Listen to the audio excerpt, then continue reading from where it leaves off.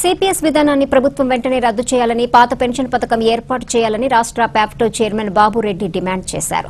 CPS విధానాన్ని రద్దు చేయాలని డిమాండ్ చేస్తూ క్విట్ ఇండియా స్ఫూర్తితో ఉపాధ్యాయ సంఘాలు ప్యాప్టో ఆధ్వర్యంలో అనంతపురం జిల్లా లేపాక్షిలో ప్రారంభమైన బస్సు యాత్ర రెంటచింతల చేరుకుంది. మండలంలోని ఉపాధ్యాయుని ఉపాధ్యాయులు బైక్ ర్యాలీతో వారికి ఘన స్వాగతం పలికారు. అనంతరం ప్రధాన రహదారిపై ధర్నా కార్యక్రమం నిర్వహించి మాట్లాడారు. రాష్ట్ర వ్యాప్తంగా ఉద్యోగ ఉపాధ్యాయ వర్గం ఎదుర్కొంటున్న ఉద్యోగ భద్రత లేని సిపిఎస్ విధానాన్ని రద్దు చేయాలని డిమాండ్ చేశారు. తమ వ్యతిరేకతను ప్రభుత్వానికి తెలియజేస్తామని పేర్కొన్నారు. ఈ ధర్నా కార్యక్రమంలో MLC Boddu Nageswararao FAPTO co chairman Joseph Sudheer Babu జిల్లా ఫ్యాప్టో చైర్మన్ హనుమంతరావు మండలంలోని ఉపాధ్యాయుని ఉపాధ్యాయులు సాగర్ బాబు జాన్ విజయ్ కుమార్ జిల్లా ప్రతాప్ చిన్నమ్మ నాగేశ్వరరావు ఆదం సాహెబ్ అమలబాబు సౌరీలు తదితరులు పాల్గొన్నారు.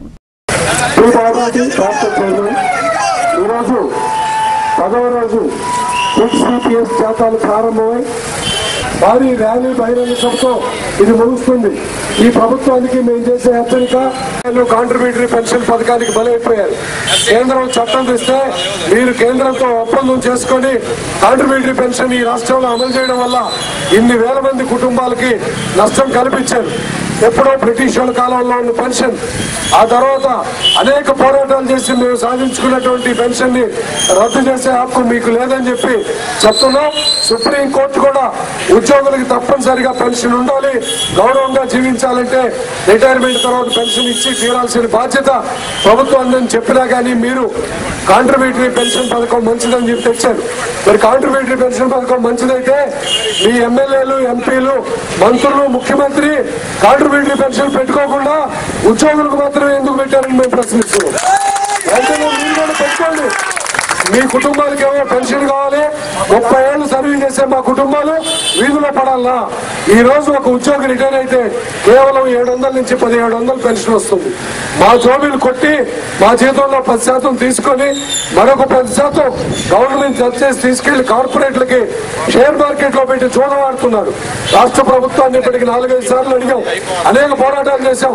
నిరాహార దీక్షలు చేశాం? అందే ఫలితం లేదు. ముఖ్యమంత్రి గారిని అడిగితే రాష్ట్రం కాదు ఇది కేంద్రం అంటాడు కేంద్రంలో ఎంపీలు అడిగితే ఇది కేంద్రాన్ని కాదు రాష్ట్రం అంటారు. ఇద్దరు తోడు దొంగల్లాగా ఒకరి మీద ఒకరు చెప్పుకొని రాజకీయ నిర్ణయం తీసుకొచ్చినటువంటి ఈ నిర్ణయాన్ని రద్దు చేయాల్సిందే. చేసేదాకా ఫ్యాక్టరీ ఈ పోరాటం కొనసాగిస్తుందని చెప్పి తెలియజేస్తున్నాం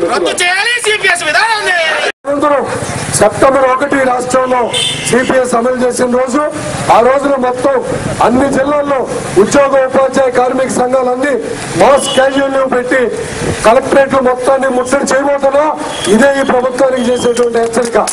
రాజకీయ పార్టీలు వాళ్ళ విధానాలు స్పష్టం చేయాలి.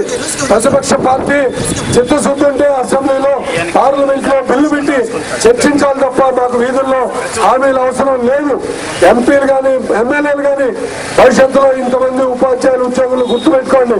వాళ్ళందరి ఓట్లు ఉన్నాయి కుటుంబం ఈ రాజకీయ పార్టీలు కూడా మేము చెప్పదలుచుకుంది. మీరు ఎప్పుడు ఎవరైతే దీన్ని రద్దు చేస్తారో అప్పుడు మేము మీ గురించి మంచిగా ఆలోచిస్తాం. లేకపోతే ఎట్లా ఇంటికి పంపాలో మాకందరికి తెలుసు. ఆ పద్ధతిని కూడా పాటిస్తామని చెప్పి హెచ్చరిక